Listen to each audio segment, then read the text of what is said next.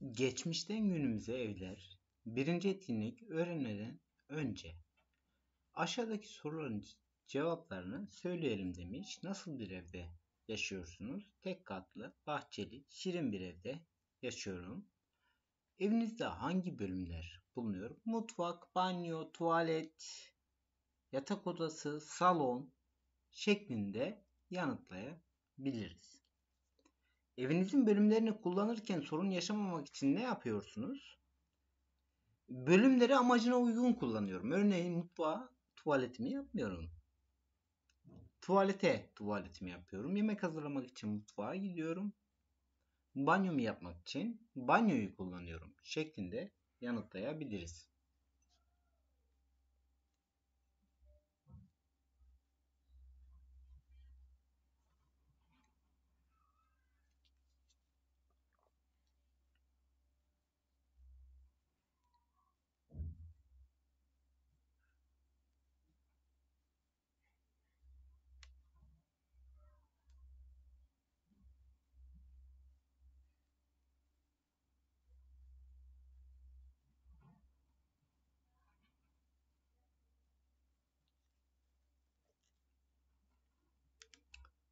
B bölümünde aşağıdaki canlılarla yaşadıkları yerleri aynı numaralar vererek eşleştirelim demiş.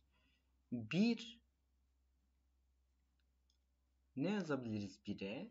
Tabii ki dördüncü sıradaki resmi eşleştirebiliriz. 2 tabii ki dalın ucundaki kuş yuvası. 3 ev. 4'ü ise mağara şeklinde eşleştirebiliriz.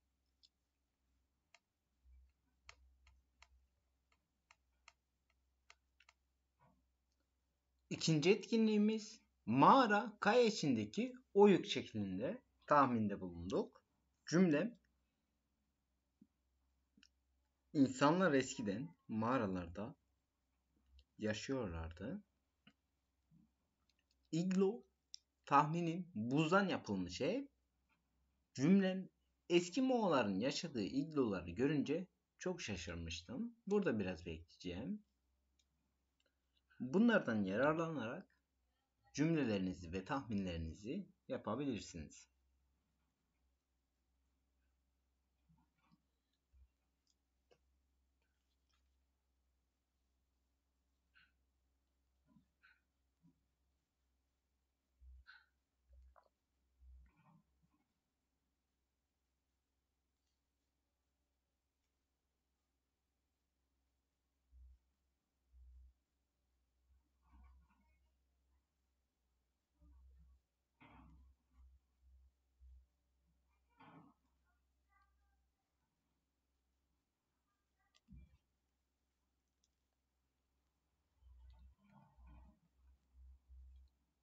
Dördüncü etkinliğimiz soruların cevaplarını söyleyelim demiş.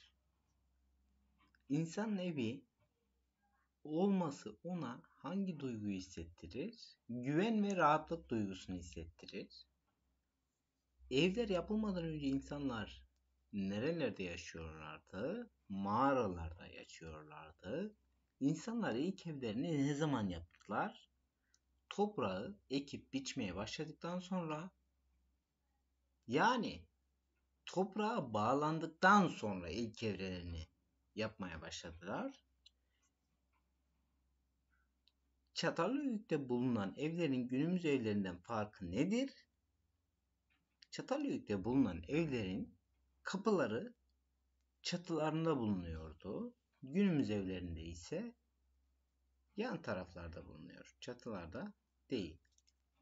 İnsanların apartmanlarda yaşamalarına neden olan olay nedir? Toprakların az olması şeklinde yazabiliriz veya düz alanların az olması, insanların köyde geç, e, göç etmeleri şehirlere, bu nedenle şehirlerdeki düz alanların az olması nedeniyle yüksek katlı binaları yapmaları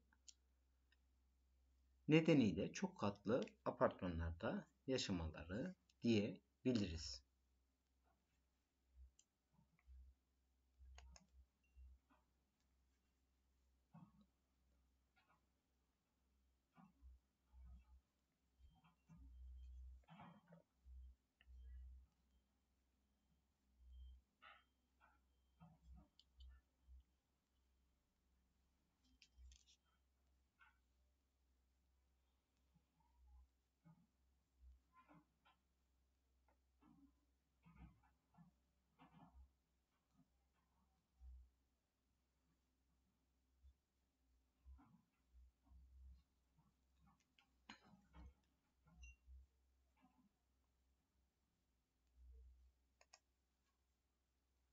Evlerimizin bizi nelerden koruduğunu yazalım. Sıcaktan, soğuktan, vahşi hayvanlardan, kötü insanlardan, kardan, fırtınadan koruduğunu yazabiliriz.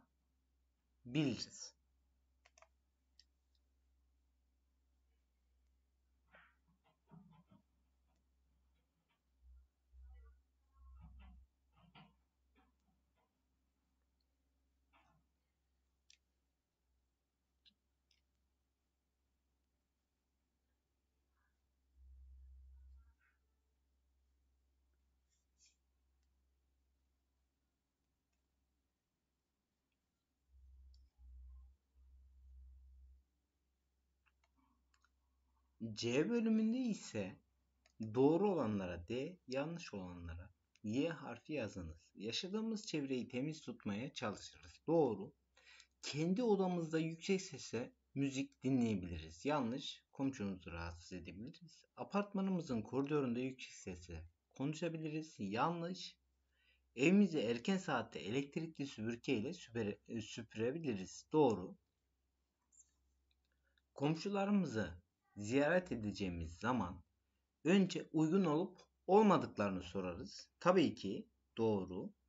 Arkadaşlarımızla evimizin içinde koşu oyunları oynayabiliriz. Yanlış. Evimize misafir geldiğinde onlara güler yüzlü ve kibar davranırız. Doğru. Şeklinde yanıtlayabiliriz.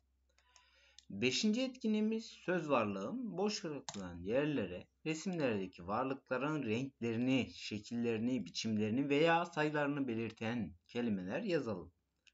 Kırmızı ev. Bir ev. Dört kalem. Silgili kalem. Üç kuş. Yavru kuş. Şeklinde yazdık.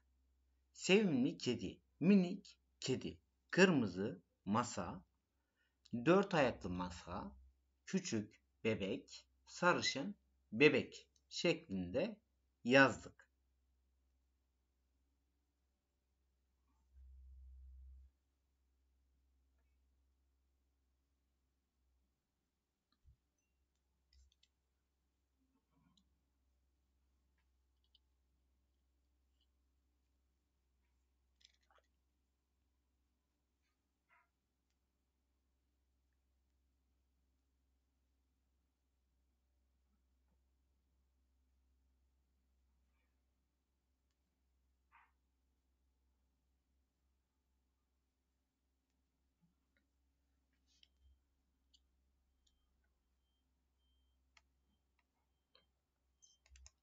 Altıncı etkinliğimiz komşularımızı rahatsız etmek için, rahatsız etmemek için, onlarla iyi ilişkiler kurmak için nelere dikkat ettiğimizi arkadaşlarımıza anlatalım. Komşularımız bizim için çok değerlidir. Onları rahatsız etmemek için yüksek sesle müzik dinlememeye özen gösterelim. Erken saatte uyandığımda gürültü yapmam. Komşularımızı her gördüğümde onlara selam veririm. Bir şeye ihtiyaçları olup olmadığını sorarım şeklinde yanıtlayabiliriz.